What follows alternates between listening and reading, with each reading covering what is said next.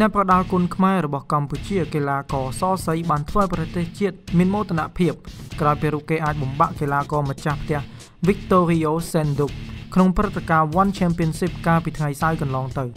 កីឡាករចាស់ភាសារូបនេះបានប្រើក្បាច់ល្អល្អក៏ដូចជាការវាយសង្គ្រប់ទៅលើដៃគូរបស់គេ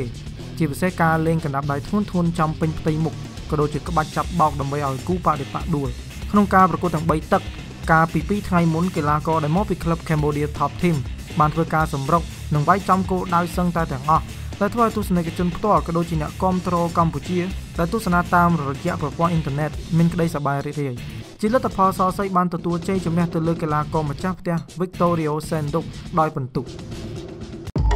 នាំមកជូនដោយហាងលក់សម្លៀកបំពាក់ Little Fashion